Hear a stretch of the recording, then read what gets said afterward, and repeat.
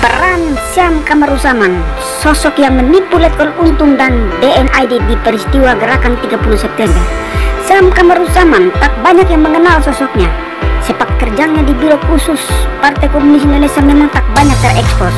Badan khusus yang bertugas membina kekuatan komunis di tubuh TNI ini memang serba rahasia. Mereka hanya bertanggung jawab kepada Ketua Komite Sentral PKI DNID. Tak semua anggota PKI tahu keberadaan mereka.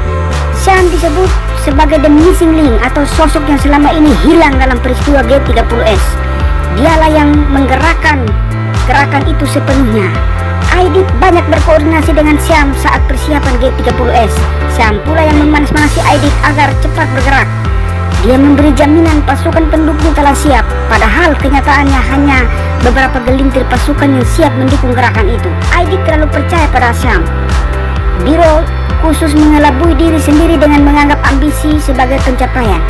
Pimpinan tak pernah mempelajari pasukan mana yang bisa bergabung. Analisa Brigjen Suparjo salah satu unsur pimpinan gerakan militer dalam peristiwa G30E seperti ditulis sejarawan John Rosa dalam bukunya Dali Pembunuhan Massal. Aidit termakan analisa palsu Syam.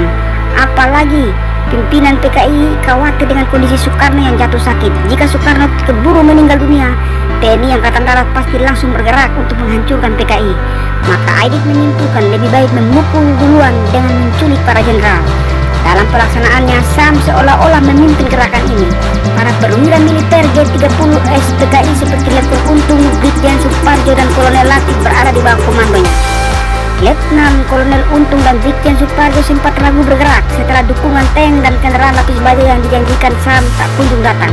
Kelihatan benar kalau Sam hanya omong besar, namun pria yang digambarkan selalu percaya diri ini menyergap dua perwira militer ini.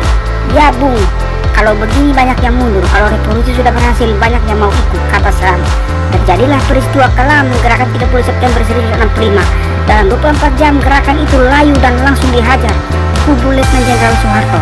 Brigjen Suparjo mencoba meminta kendali dari pasukan Sam namun tidak diberikan.